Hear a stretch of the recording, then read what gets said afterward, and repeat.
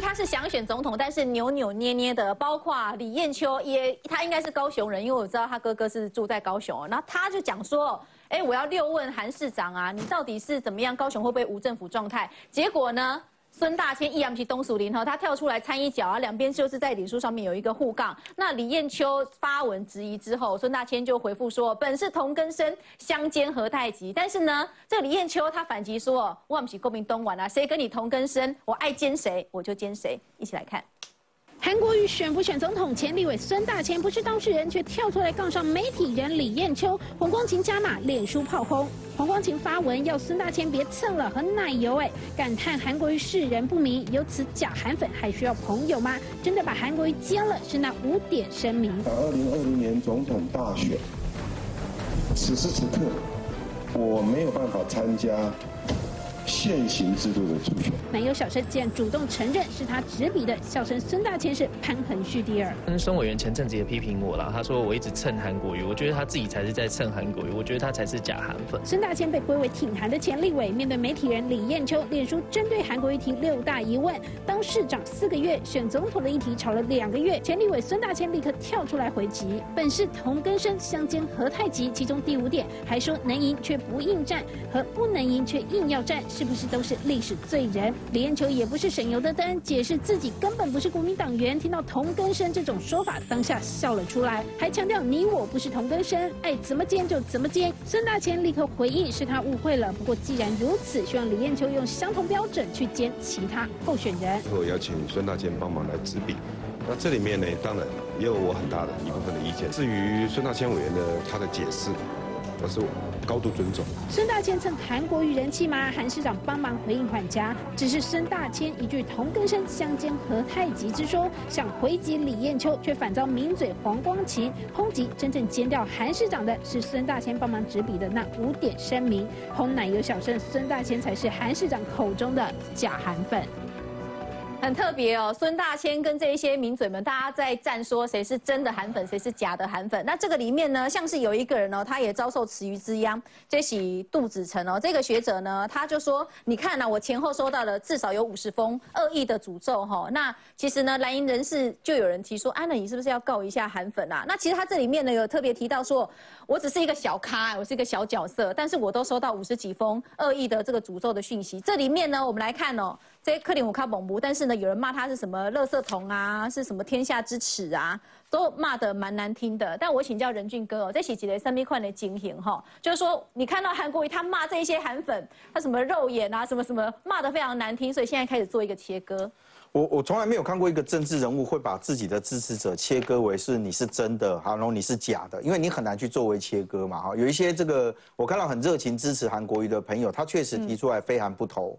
那我觉得这是他表达一个他的热情啊，所以当当这个韩市长他非韩不投是正面的，你拿美郎喷射他 就是负面的。哎，但是他觉得他只是表达的方式比较激烈啊，他就强调就是说，那我觉得只有韩国瑜有资格，其他人没有资格，那是他表达言论的自由嘛啊，所以我认为应该比较理性回来看，就是说，我相信韩国瑜他所批评的是那一些可可能会去用言辞批评人家的，或是伤害人家的，嗯，那这一些韩国瑜他是予以谴责。那只是安内美，你觉得那一些韩粉他会因为这样，然后我就比较约束自己吗？呃，但是我更看的点就是说，那韩市长在说出做出这些呼吁的时候，他的利基是站在什么地方？嗯，我比较看到的是，他其实都会后面都补了一句说，你们这些作为其实是在伤害韩国瑜。嗯。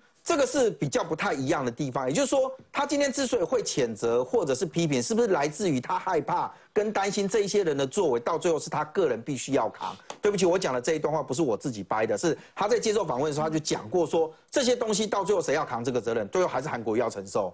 所以，如果他今天针对这些事情所提出的谴责跟批评，是来自于他担心这种作为会让他产生伤害的话，那我觉得他这个批评跟质疑的效果会比较少。为什么？因为这些人所攻击跟批评的对象不是韩国瑜啊，这些人所攻击跟批评的对象是你刚刚看到那些媒体人呐，是那一些不支持韩国瑜的人呐，甚至是那些国民党内国民党自己的从政同志，只是因为他想要选，然后就一大堆人去骂他，这一些人被骂，这些人被批评，他们所受到的伤害，其实比韩国瑜个人所受到的影响还要大。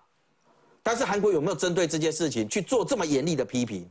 没有。嗯，韩国瑜他做了一个很好的爸爸，因为他说他得到消息说接下来有可能呃有人会对他的女儿不利，所以如果这样他不能接受。嗯，但对不起，那一些人所做的事情，对那一些他们攻击的人的家人来讲，是不是同样有这种威胁性？对，人家就说你看黄光琴，你之前也是呃韩粉说要威胁我的小孩嘛。是啊。那现在你终于知道那个感受是什么了。我我觉得我们没有那么坏心，说哦不行，哇你讲你改个情况嘛哈，你怎样呢？我们不这样做哈，我相信大家也不会去这样做联想，而是当韩国瑜你今天那么的护自己家人的时候，你。有没有想过，那一些被你伤害的人，不就也是希望你出来说句公道话而已吗？可是没有，所以我刚才讲说，韩国瑜所有的逻辑后面都一定会补一句说，你们这样做是伤害了韩国瑜，这个很可怕。我最可怕的点就是说，OK。如果你认为那一些假韩粉，所谓的假韩粉，我讲他为什么要讲假韩粉，你知道吗？因为那些是在网络上面。那如果是这样，你也可以去把这些找出来，因为你觉得这些人对你有伤害嘛？因为到最后害到你啊，你我不相信你，你没有资讯说是哪一些人去做这件事，你也可以检举，你可以这样。可是我刚刚讲那个叫做不不具名的，因为你不知道他是谁嘛。网络上可能有个头像，有个有一只鸟，有只麻雀，IP 也可能是在别的地方嘛。可是他周边的人有没有人具名出来去抨击别人的？其实也有啊，比如说孙大千好了，孙大千到处开枪，到处开炮，然后说是这样。那那些他是假韩粉，那些有没有伤害了韩国瑜呢？你光看这一些被他点名的，什么江奸和在一起，我跟跟你同根，我我想奸谁就奸谁。好啊，你要奸的话，连别人一起奸，同样标准去奸。你可以看得到那一些所谓有爱跟包容的韩粉里面，你去看看他那个后援会一大堆，也都在讲啊，说哎不好意思啊，黑雷喜米就灌起来，黑麦过阿内啊，所以我觉得不要让人家发认为或者感受到在整这件事情上面，你的阵营会不会有两面的手法？嗯，也就是说我虽然在这边我延迟的抨击讲说不行不行，可是你对于党内的开炮跟开枪，哎，你完全不在乎啊，这就是为什么唐香龙他们会在那个文章里面他会写到。过去韩国瑜在竞选的时候，爱跟包容，他绝对可以讲。为什么？选举的时候互相攻击都有嘛。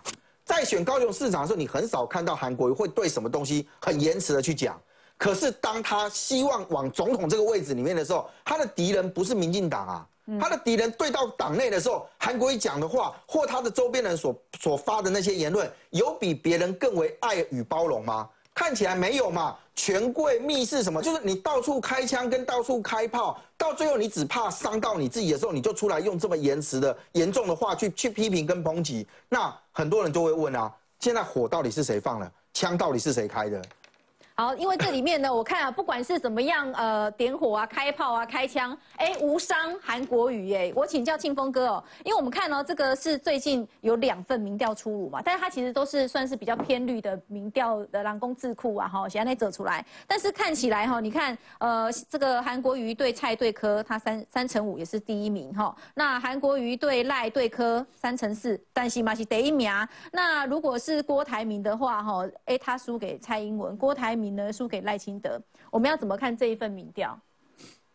哎，目前看起来韩国瑜的这个民调还是很高，不过有很多份的这个，它是下滑，对，很多的声量跟民调在观察，其实它的那个趋势是趋势其实是往下哈，这也可以可以可以理解说为什么他最近有点焦虑，有点焦躁，因为终究到目前的态势，他就是说我我我不入局，可是我要选总统嘛哈，所以他。他这个在在在实物操作上，他不可能说真的都那么不在意了。可是我我其实刚刚有人讲很有趣哦，我看他现在对自己韩粉的约束哈，在属于对别人人身攻击那个部分，我是同意任俊的，就是其实你韩粉的粉哈总是疯狂的，很多粉啊，过去第一代网红的粉，哦，对于不同意见人的人身攻击也是也是非常的无情，对。那现在这个第二代网红韩粉，他们当然也是一样。那粉是无情的哈，是是是疯狂的，所以如果可以啊，我们常常说选举的人哦，不要检讨选民，不要约束选民。可是这样一再一路搞下去，这种网络民粹其实是是对台湾的民主是没有帮助的。所以如果韩国也可以稍微节制约束，其实是好的。不过那个要建立在同理心，就是建立在韩粉攻击别人的时候，你也有同样的同理心哦。不过把它拉回选举来看，我我的个个人看法是这样子。其实韩国也要想一想，韩的声势会下降。是因为韩粉攻击这些蓝军的名嘴而已吗？源头应该不是这样。是只只有这样吗？嗯。其实你要看看现在，台高雄市议会正在开议，韩的声势会下滑，也许有可能是来自于高雄市的市民根本就不支持你参选总统，但是你却参与了国民党这一局，非常。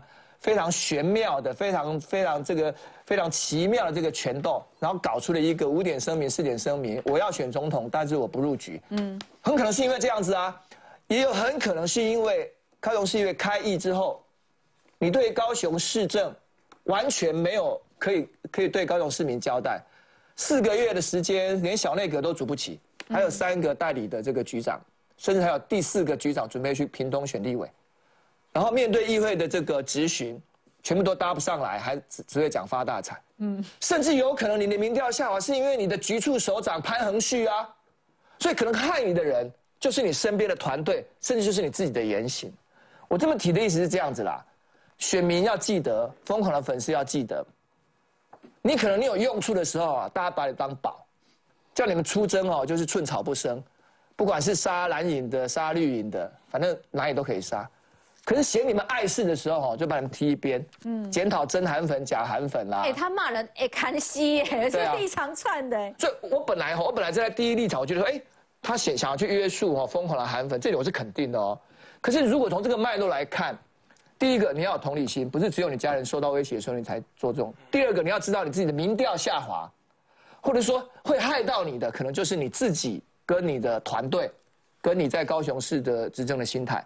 那我最后一句话就是说，所以我奉劝哈支持韩国语的这个朋友们啊，不管你是真韩粉假韩粉，大家想一想，情何以堪呐？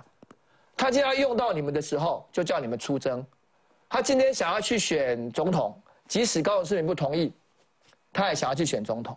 他今天做内部权斗也用你们，今天不喜欢你们的时候，就说你们是假韩粉。所以你们可能要想一想，那么会运用你运用粉丝操弄。你们意向的一个政治人物，是不是值得托付的政治人物了？我觉得这个在韩粉要去想一想了。其实我想他他应该最近这个受到挫折应该不少了，因为很多人都开始攻击他，而且是过去都是支持他的人嘛。那比如说像这些蓝营的名嘴，我想在这个高雄市长的时候，他也不停的在攻击这个绿营的候选人嘛。那可是这个到现在为止，直直到一个。我这个我觉得哈，就是本来这个韩国也是大家蓝营捧在手掌心的，那大家就一不停的在呵护，然后这些人突然出现一个郭台铭之后呢，大家都变心吗？就变心了。嗯，所以说我我我觉得你说啊，这个这些人在韩粉攻击这些人是是不对，但是其实你可以细究了，其实这些人是不是自己也变了？嗯，就是说这因为郭台铭的这个幕僚群哦，你是说他们是有有。计划性的应选择，可有的选择之后就变了。因为有一个新宠出来之后，就开始开始做一个。做一个转向，所以就开始攻击韩国瑜。但事实上呢，我我我觉得这个呃，完全归咎这样子，我觉得不排除有这种因素。可是问题是，如果他攻击是他的人身攻击，说挟着这个所谓的呃蔡正元的余威四千万啊什么东西继续攻击的话，那就是叫人身攻击。可是目前现在提出来都是很合乎正当性啊，他们都是掩饰的很好的正当性的询问嘛。就是你高雄市政你做得出来做不出来？你看果然被。黄杰问你就就你就问不出来了，所以说我我觉得就是说，当然这个韩国瑜现在面临非常大的一个考验，就是说党内的人呢，因为有一个比较他们的，我觉得他们的心态其实也没有说，呃，真的很恶毒或怎样，他们只是觉得说现在有一个人可以取代你了，那你高雄的部分呢，你就继续留守就好了。因为我们刚刚看那个民调数字。郭台铭的数字是比较难看的，对，但是他们可以期待，他们觉得说，哎，郭台铭至少还是可以，就说赢这个柯文哲啊，或者什么等等的。那他们觉得郭台铭现在是一个低点，因为这个是这个是中国基金会，还有对，还有两岸政策协会。那基金会它的呃，我他他们有时候我们做绿营的民调，那个蓝绿比这个绿的。比会多一点，对，会多一点。那郭台铭本来在蓝营头就不是最集中的，他最集中的都是集中在支持韩国瑜嘛。嗯，所以说他们现在的一个想法就是说，我如果韩国瑜不选的时候，我所有国民党的票就会灌在郭台铭身上，所以郭台铭还是会赢得蓝营所有国民党的支持者的票。那所谓的非蓝不可、非蓝不可的这一群，其实不够不呃不够影响力大了，所以他们是现在是转转向了，要全力。巩固所谓的，呃，这个某一个人，然后希望高雄也不要丢。我觉得他们基本的立场是这样子，但是问题是说，你呃，你这样子所谓黑自己，呃，这样黑黑韩国语，万一这个郭台铭也救不起来，因为郭台铭到目前为止，他的他的问题是致命的，不是说可以调整。你说检视韩国瑜的政策，譬如攻自金区、攻北处处，然后只能讲说这个发大财，这不凶嗨哦。五凶嗨啊！但但是郭台铭可不可以救回？可不可以救自己？有啊，他股票两百多亿。对啊，有没有？如果郭如果郭台铭基本上有像这个朱立勇或王金平的口才的话，我觉得那是可以可以救自己。但是郭台铭的口才实在是。我觉得是真的还要再训练呐。那像像韩国瑜这么大的一个失分，郭台铭可以从这个失分里头帮自己加分吗？这是一个很大的问题。那不过我觉得韩国瑜处理韩粉的东西，包括旁边的幕僚这种护主心切，的确会让他树敌很多。不止孙大千，他旁边有一位女性的立委，当时他在选这个所谓高雄市长非常非常红的人，他也。教训过某一个人说：“你不要成为历史的罪人，不要成为国民党的历史罪人。”所以说，今天韩粉跟坐在韩国瑜的旁边的人就觉得说：“我韩国瑜千万都不能批评，尤其是党内的人也不能批评。”昨天有一套论述，就是说，如果你们呃，我我对你韩国瑜有一点意见的时候，你可以私下跟我讲。就像我对王金平如果有意见的话，我私下打电话去给王金平讲就好了，不要在公开的这个上面批评这个韩国瑜。但是是事实上，李艳秋、唐湘龙这些人。都是一个，他只是叫做青蓝的媒体人，他并不叫做你实质上的国民党人啊。那你这些媒体的批评，难道你不能够接受吗？你就要把它冠上冠上一个罪名，叫做破坏团结，叫做同呃这个相煎何太急，同根生，然后叫做历史的罪人吗？所以我觉得这也是考验韩国瑜，除了市政问题之外，最大的问题也是在这一块啊。我觉得他的这个所谓嚣张啊，或是说自以为是、自以为自己真的是一个神的时候的心态，对于他的党内的团结跟人员，还有对外的表现方面，都会很大的一个扣分呐。其实刚刚讲到说支持者好像有一点点变心哦，韩国瑜不再是唯一第一的选择，但是我们看这一份民调，他还是最强的嘛。但是我请教范老师哦，最强之外呢，哎，因为他是。趋势是在走下坡，感觉上呢，每过一段时间呢，都有在下滑一点。那是不是说，因为声势在下滑，所以高雄市政府就要做出一些作为哈，指定统一韩市长的 logo？公务员就啊，喜欢做贝安内啊，他还特别发了一个公文呢，就是说，哎，我们这个肖像呢，哦，只是你们如果办活动啊或业务需要，来打开爱通也爱用。那现在有一些公务员是有人质疑说，啊，你是不是在造神？是不是要帮你造势？或者是有人觉得，啊，我哪是公务员，我不用 A 为会不会被人家秋后算账？对，因为韩国瑜是媒体的焦点嘛，大家现在已经不是用放大镜去看他，是用显微镜去看他，所以很多事情呢，其实他做这个 logo，就就会有人认为说，啊，你是不是要？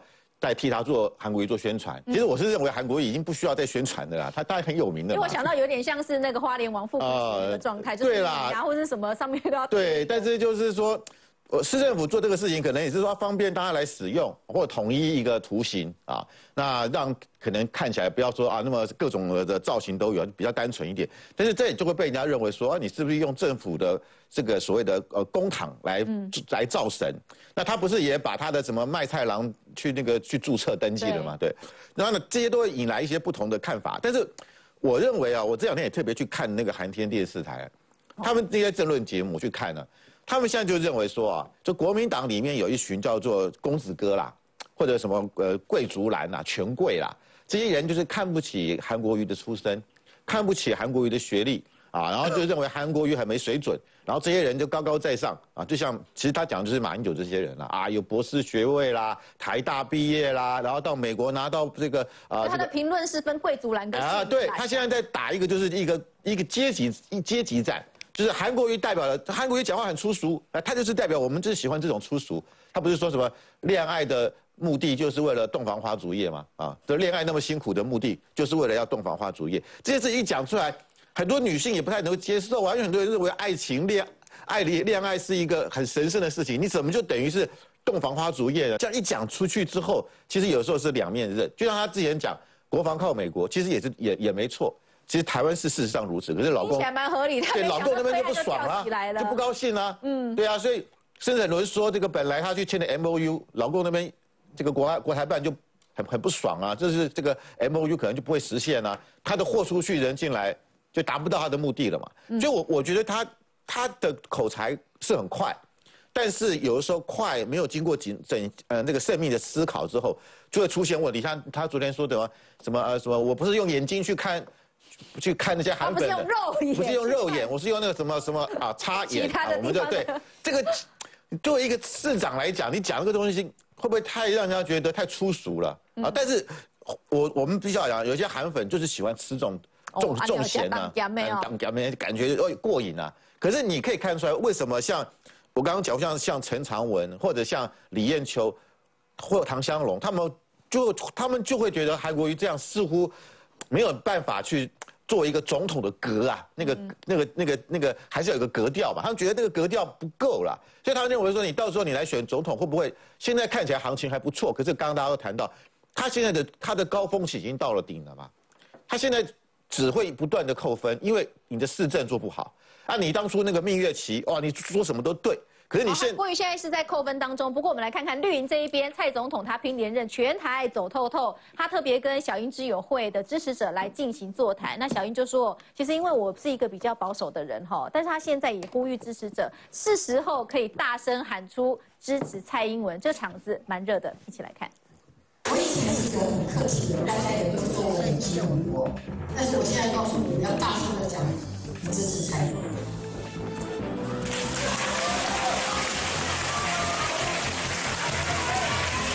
从保守发言摇身一变辣台妹，总统蔡英文畅谈心境转折。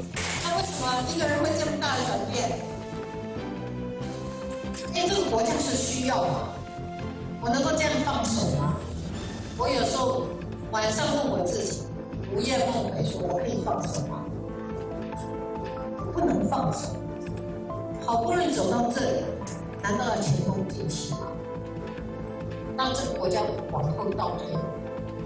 因为我有使命，我必须完成。小英展现坚强意志，但面对中共打压威胁，蔡英文坦言，当总统心脏要很强。做总统最怕的是三更半夜拿起电话出来要部长的声音，你知道吗？三更半夜的一定是国外发生事情嘛？你做总统的心脏要够强嘛？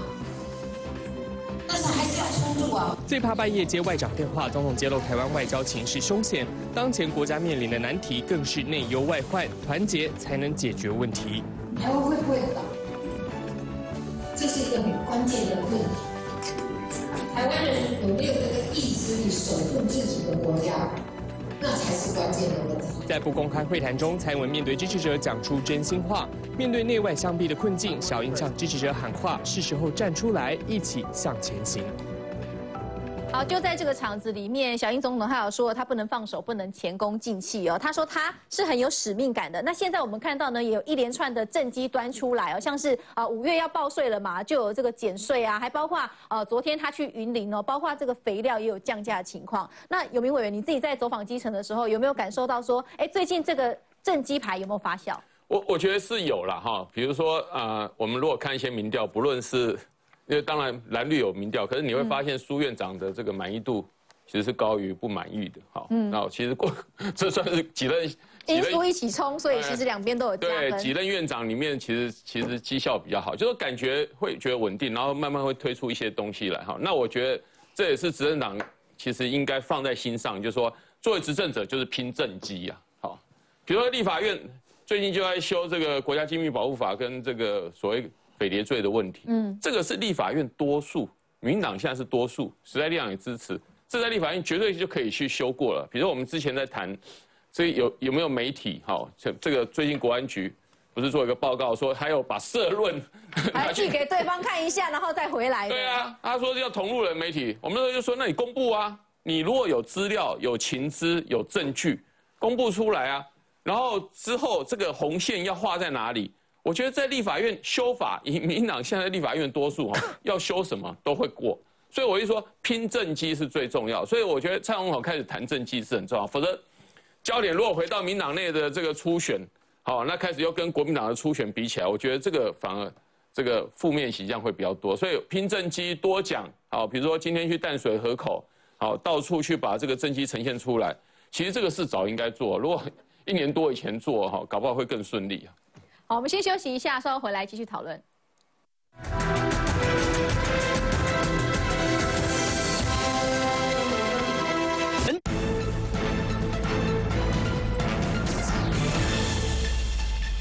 好，我们刚刚谈到小英总统也特别讲到说，支持者哈西西尊，你可以大声喊出你是支持蔡英文的，不要害羞。那这里面他有特别讲到一些相关的字哦，他说他也知道啦，去年那个一一二四的民党为什么会失败，就是跟年改有关，政治人物要付出一些政治代价。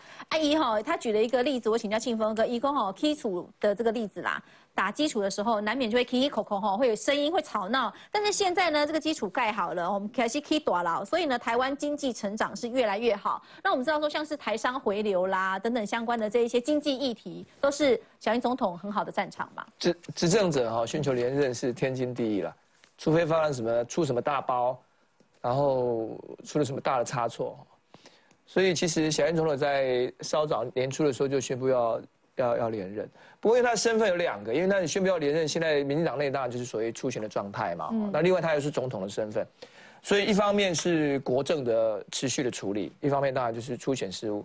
那我认为小英总统是大部分都在处理国政事务比较多了。可是你到了第三、第四年哈，第四年年初，那到上上半年，坦白说要寻求连任，跟你整个政绩是不是有成绩，其实是有很大的关系的。那么过去的三年，如果民党的执政有一些比较不如人意，如果有民怨，那你一定要趁这个黄金时间。你现在有没有觉得节奏比较对？当然啦，当然啦，因为我们一我们去年输的太惨了，坦白讲就是一败一一败就一塌涂地嘛哈。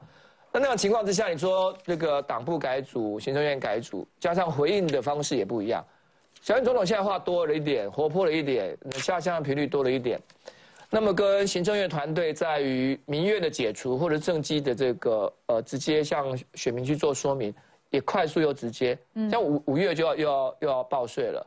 那么过去从林前院长时代演拟了很久，到最后拍板现在推出来的减税措施，当然还有立法院的立法院相的相关支持的这些措施，事实上对于接下来的报税的这个年轻人或者是小家庭，其实一定很相当有感。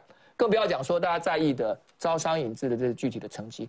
不，我要说的是说，他可能会在呃，刚刚大家提到过，就初选事务，以我的角色，我是不能够去评论两者的民调高低。可是如果说他在各个机构所做的里面有稳定的成长的话，有相当一部分就是因为在去年大选失败之后所做的调整，然后不管是风格或者是施政内容上面的一个回应，我觉得是有一定的效果。那其实我其实我要讲了，其实这本来就是执政者的责任。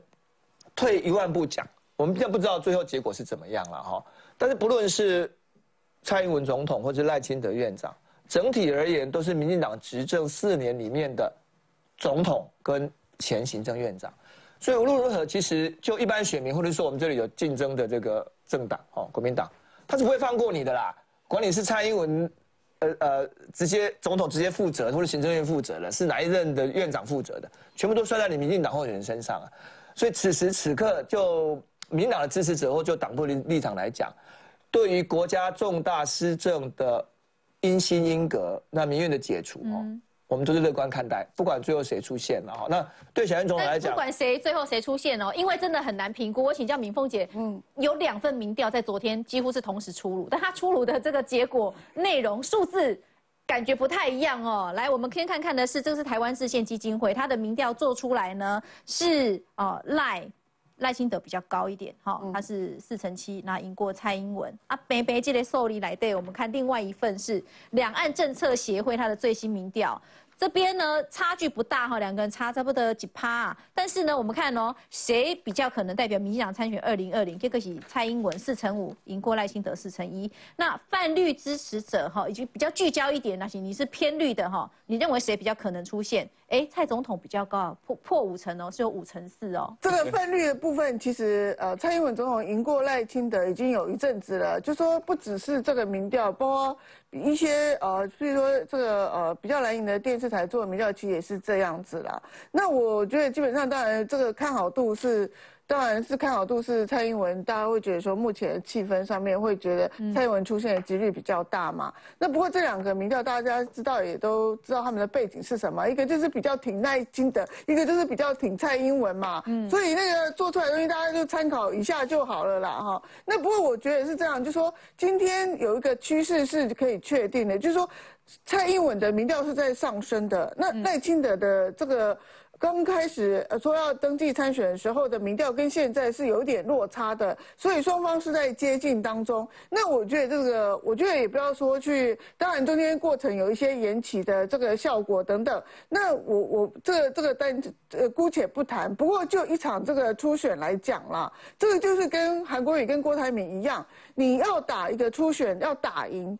的话，就是代表你有能力去打赢大选嘛，所以初选绝对是一个很强烈的考验。那如果说你蔡英文今天用比较。自然的方式，你可以看到他现在都不看稿了，不会呆呆的念看左边看右边的那个荧光幕，然后对对，然后他就是开始叉腰用茶壶的方式跟你讲说这怎样怎样。那大家又觉得说这个领袖呢，或者说这个领导人呢，他比较跟民众比较亲近了，他会露出他的真本性来。那我们大家看到他是一个怎样怎样一个一个一个真实的一个情况的人。那我觉得这个就是他自己提升在这场初选里面，初选里。面所得到的一个效果跟收获嘛，那赖清德也一样，赖清德就说你从民调高比较高，落呃就说现在有一点下跌的情况，当然他互比是还是比蔡英文高很多，没有错。可是这个在对比上面，他的优势就慢慢在消失。那你就要检讨说，你当时在决定打这场初选的时候，你有把整个大选的格局考虑进去，然后你的团队或是你的战斗力，或是你的这个整个一个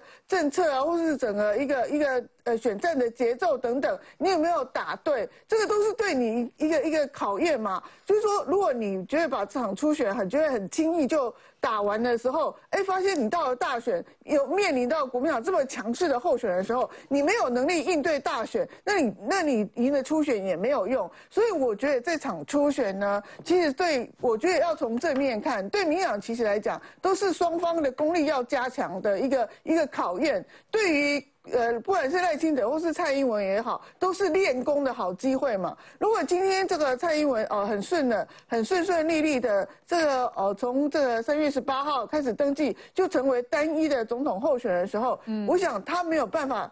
他没有那么大的动力去促使他这么做这么大的调整啦，嗯，所以我觉得双方当然竞争固然要竞争，可是我觉得从正面看，他们要互相感谢对方，给自己一个一个考验的机会，所以我还是希望，就说绿营的支持者呢，希望双方能够一个所谓的公平的竞争，也希望双方能够团结，然后不要这过于恶言相向，然后破坏整个。整个这个分裂情况这么严重，所以说在这场初选里面，当然有竞争，可是也有要互相可以感谢对方的地方，让自己的功力增强，也没有什么不好。所以，我我我觉得，总之呢，这场初选对于民进党，你看在整个这个政党形象里面。这个呃，说这呃，跟国民党，因为国民党这个乱的太没有章法了。那人家演的是宫斗剧啊，你给他那边。对啊，因为他们太多人了，所以大家都会很混乱。那问题是，民党的在政党的形象里面，其实。有拉回来一点呐，所以说我我觉得这样这个呃还是用健康的角度去看这场初选最好。那初选的结果呢？我觉得如何维持所谓一个民主的价值，也是一个非常重要的一个一个点。那如果说你初选完了啊，大家分裂了，可是又没有一个民主价值存在，没有一个民主机制的时候，那就是双输。但是如果说你这互相竞争都有进步了，然后这个又有维持一个民主的价值的时候，我觉得不管谁输谁赢，谁代表民进党都是一个非常好的一个开始，因为我们刚刚在谈民调的里面呢，有一个是做呃蔡英文比较领先，一个是赖清德比较领先，但是至少哈小英是第一次赢过赖清德，有这样的民调趋势是表示他是在上涨当中。那我请教任俊哥，我们来看哦，那赖清德为什么这个时候突然哦，他接受广播专访的时候，哎蛮。开诚布公哦，上面弄一当供，怎么会讲到说，哎，蔡赖在协调的那一次见面的时候讲了什么啊？如果哈蔡英文赢，我当着他的面，我是这样跟他讲的。如果蔡英文你赢了，你就是小英二点零。啊，那些光阳哈，我就是一个新气象。它里面还有抖出别的事情，但我们想先就这一个部分，听起来是也是还蛮佛系打法，还蛮君子之争。但是这是不是话中有话？不，我觉得赖清德当然他必须要证明，就是说他比蔡英文更适合代表民进党来出征了啊，所以。呃，小英的二点零，我认为如果就我自己来解读这句话了哈，小英的二点零背后还是小英啊。嗯，那赖清德他讲说，如果我出现，就是完全不一样的一个情况，所以我觉得当然他必须要去证明，讲说他提这句话之后，他如何去推动这件事。那当然，小英二点零这个也可以理解啊，就是说小英二点零的背后虽然还是小英，可是当因为他是争取连任嘛。所以他必须要把他当时在第一任里面没有做完的事情，或者大家认为没有做的很好的事情，他必须要有所修正。所以二点零版我们通常称之为叫升级版。对啊。那所谓的新气象，我新气象是不是代表要全盘从全部打破，重新来过？我觉得这可能在赖清德所提出他的这个这个说法的时候，会让有一些人有质疑。为什么？因为你目前的行政团队跟你的立法团队，确实都是在民进党的大的掌握之下。嗯，那你接下来你要提出这样的一个一一个情况的时候，那也要让大家看的是，民党有没有可能在二零二零的这一战，你同样在行政权拿，如果你拿得到，你的立法权能不能同样拿到这么多？我觉得这个是赖清德现在为什么大家会质疑讲，会认为说他有点佛系的地方是，我觉得他有一点困境啊，就是说他很清楚的知道现在民进党在行政跟立法里面两个都是民进党的状况。那我如果大幅度的去批评讲说我现在不好或怎样，其实会陷入到了那个所谓的英系的某个人里面所讲的说，哎，不好意思啊，你也当过行政院院长啊，啊，你这些东西难道你要做切割吗？你要去怎么样？所以这就是为什么我觉得戴兴德在这一段时间会被让人家觉得佛系，是因为他唯有两个方法嘛。第一个是他要证明自己比蔡英文强。那你你要么就走批评，要么就就怎么样？这一个方式。我们试着来透过他讲话的这个语气哈，来看看说赖清德他到底是怎么说的。他还原了整个蔡赖会，一起来听听看。经由这套初选完成这些程序啊，那如果蔡英文总统您赢了，嗯，你就是二点零啊。你当面这样讲？是啊，我说你就有可能打赢总统大选。嗯，但是如果我赢了，那我就是一个新的气象。嗯，啊，也会有机会。在总统大选的时候打赢，其实我是很坦诚的。他怎么回？那他的回答我我不方便讲了哈。为什么？好，这我不方便他讲他怎么回答啊，这个我必须要保留。他有当面邀请你做他的副手吗？当天是没有啦哈，当天是没有。他没有透过管道但是有透过管透过管道，我也跟来询问过我的人，我也跟他讲过我。这是一一二四啊，你卸任之后。之后。三一八之前。呃。对，三三月十六之三对三月十八号登记哦，好，之前你就已经拒绝过。对我有我我有我有特别提到，就是说我也没有打算啊当当副手这样子。好，嗯。范老师帮我们解读看看哦，到底赖清德他想要表达的是什么哦？他自己是给社会一个新的希望、新的气象，还包括呢，他也有讲到说哦，其实小英有找他要当副手，是一二四之后三一八之前，但是他就没有这个意思。呃，我想他的说法就是说，他为什么说小英如果赢的是二点零？嗯，因为他认为我这一开始出来的时候，我的支持度是高于小英很多很多嘛。嗯，那个民民调都如此嘛，所以对小英来讲，赖清德是一个可怕的对手。那如果说我今天你小英还赢哦，赢过赖清德，你等于被经历了一场艰困的试炼，你就变成是浴火凤凰了。你就等于是飞龙在天了，因为你你因为你经历过这么严格的打仗，因为我我我赖清德很强啊，嗯，所以他他其实要凸显我赖清德很强啊，所以你能够赢过我，你很了不起，那你等于就是被这个重新被考验了一次，升级对升级了，所以你的战力就不一样了。那你你连赖清德都可以打败，那你要打韩国瑜，要打呃这郭台铭就会比较容易，所以我觉得他是要展现出这样的一种想法了，也就是说我今那当然如果。到到最后啊，如果现在几个民调看起来好像蔡英文真的好像是已经超越赖清德了哈。那如果真的是这样的话，那我认为蔡英文如果啊这个民调有可能赢的话，那我觉得对蔡英文来讲是很大的一个利多。但是蔡英文不会这么想啊。蔡英文说：“那如果我输了怎么办呢？那我输了，我就变成跛脚总统了。我要怎么样撑到明年一月啊？”嗯，所以两个人站的处境是不一样的。蔡英文大家会觉得说。你这样讲，像在替为我为我好啊！你在帮助我，可是我可是说我输了怎么办呢？我输了，我是变成台湾最尴尬的总统哎！我怎么做下去啊？那甚至我的根基都不稳了，可能这个这个整个社会上怎么来看我这个蔡英文？等于我今天我是被这个我前三年的施政是被彻底打脸，而且是被党内打脸的。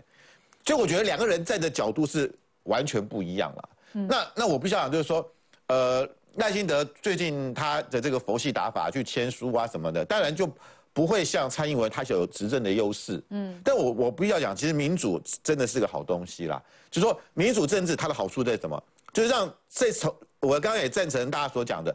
如果没有赖清德，我认为蔡英文这次党内初选不会打得这么积极。嗯，他不会不会想着要去去上一些这个什么什么这些年轻人看脱口秀，脱口秀，他不会到什么地方都讲话。嗯，他不会像那个辣台妹拿到枪就打。所以赖清德是鲶鱼啊。哎。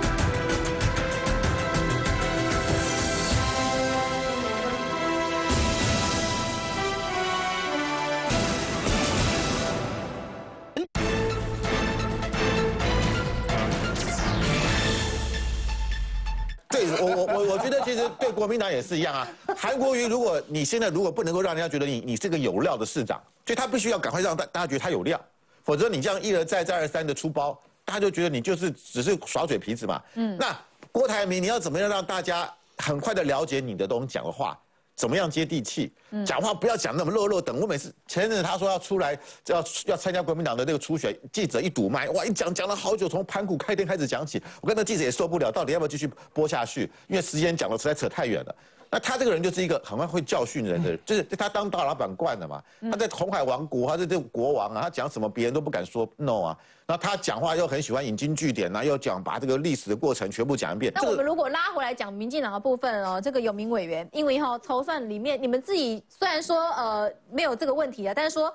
呃，手机民调哦，要不要放进去？你自己看，就一个比较符合现实的民调方法，立领委员乱。我我想直觉上了哈，直觉上很多人在讨论说，手机民调放进去就是所谓覆盖率的问题。所谓覆盖率就是说，啊，现在很多人不用市话了，哈，不用手机啊，所以我们如果用这个室内电话的话，是不是就会没办法涵盖到他们哈？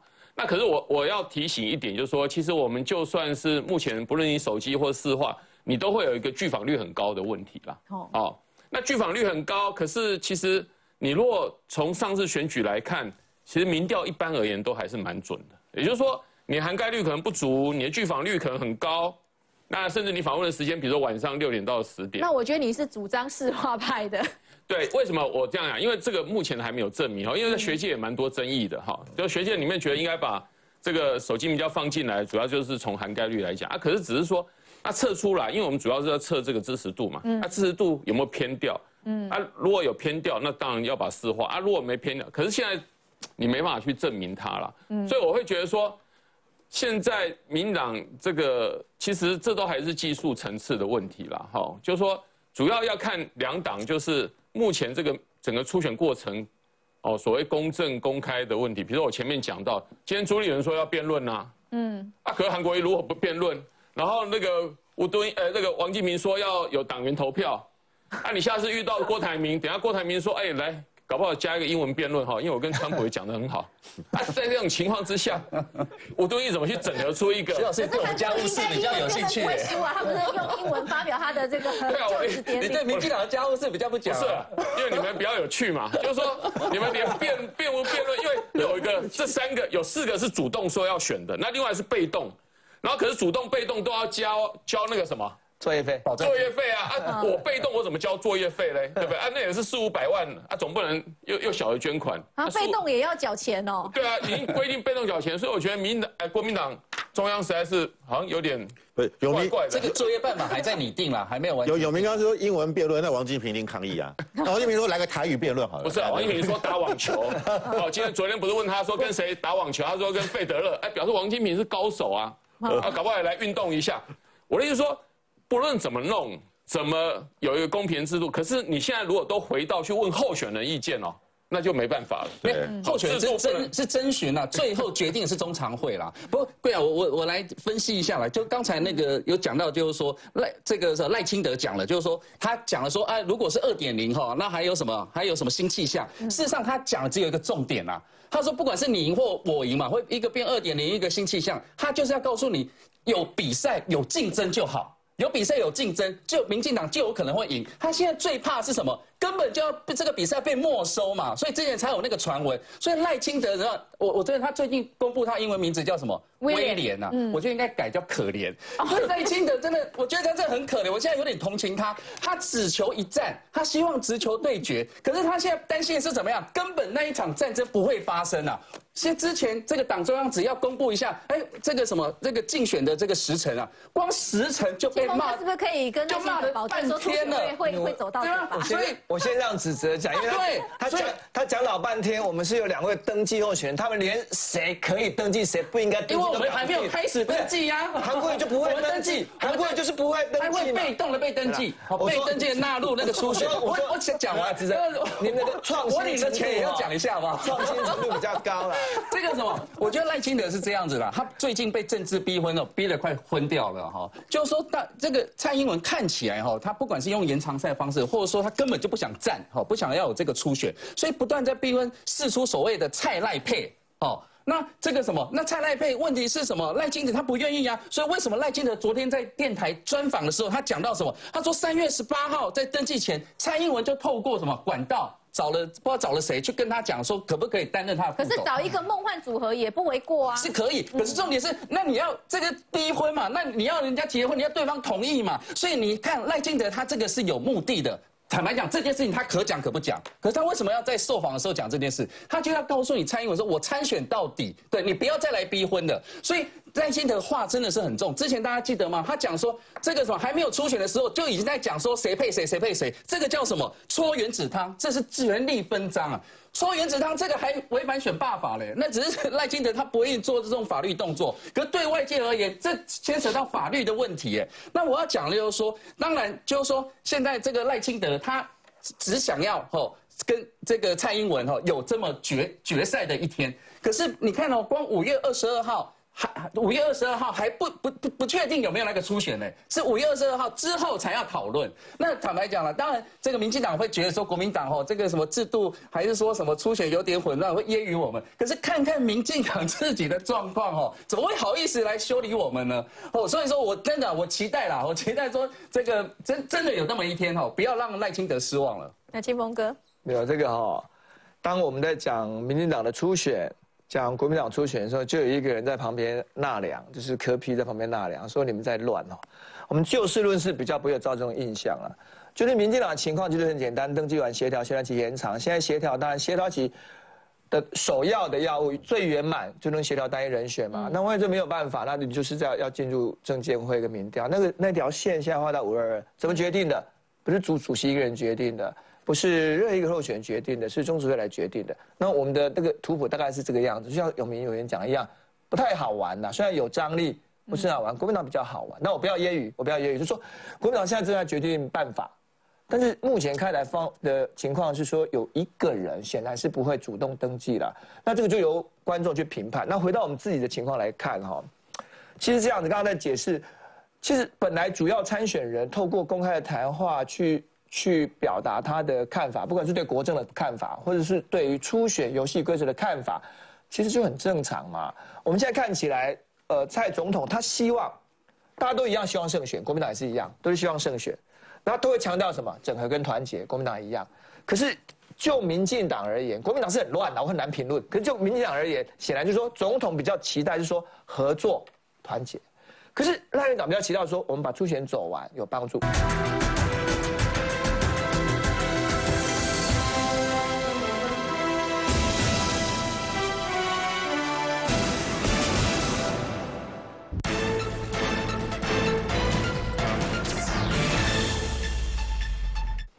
其实这样子，刚刚在解释，其实本来主要参选人透过公开的谈话去去表达他的看法，不管是对国政的看法，或者是对于初选游戏规则的看法，其实就很正常嘛。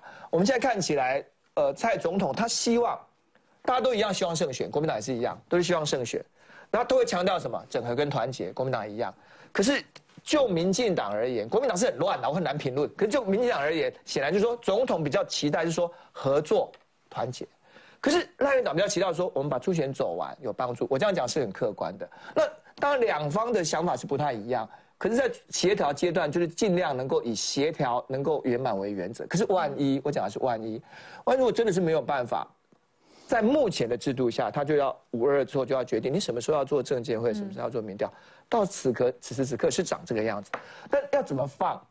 刚聊到说要不要放那个那个那个手机像这手机，理论上哦，其实它是一个游戏规则。那游戏规则里面，在现行没有没有改的话，假设没有改的话，它是就是市化了哈。那技术上可不可行？实际上，我记得国民党的民调也是这个样子。我们在做社会议题探寻的时候，其实都有纳入部分的手机民调，就是做社会议题的探寻，民意的不是初选，不是初选。就已经做，所以技术上是没有太大问题，只是说拿来作为初选人人才增补或候选人产生人的的游戏规则，目前是还没有。可是我们要回应年轻人的的的期待。年轻人如果说我用手机啊，我接不到电话，那个你你你用市话名单我接不到，这确实是现在很多人在反映，打电话到党中央。可是我要说，因为有名委员提的是说，比方我是市话，我可以年轻人加权啊，对不？对，加权就好了。现现在这一套哈，虽然涵盖率是七成，可是它还是 reliable 的，基本上是比较可靠。可是你要回应年轻人，他们说，哎，我都接不到啊，怎么样？嗯，那我要强调的是，这个声音我们会听到。那候选人也可能会主张，嗯，那你就回到回回回过头来，这样会做什么决定？技术上可行，谁做决定？我们党谁做决定？中执会做决定，嗯，那会有什么后果呢？因为在学理上，虽然大家已经开始有反省，可是还没有一个 model 是这样做候选人产生的。手机对谁有利？不是确权有利，不是啦，这不是这样看，还有加权，还有要怎么加权？我我讲的很坦白，从这个民调的手法来看，纯粹技术性做这种选举的地地方纳入民调、纳入手机，的确有非常多不确定性。对，如果你打手机，你第一个你要先确定他是哪个县市的，或者年纪什么，要先询问一堆背景。那接手机人的状况是什么？他是在开车吗？还是我跟女朋友约会，你打突然打电话来问我说 我支持哪个候选人，然后会随便给你乱打。所以说，我觉得第一个他的这个在回答讯息的人到底在做什么？有可能一个人有两只手机号码，他会不会这么幸运中了两？对，然后就是说，在就是说你要怎么这个这个在合理的情况下问出比较一个正确的答案，然后这些东西都是会有一堆争议，而且如果你要真的做到样本数够的话，你要花很多很多的时间做到那种。正确的样本，所以说为什么现在大家说啊要加手机要这回？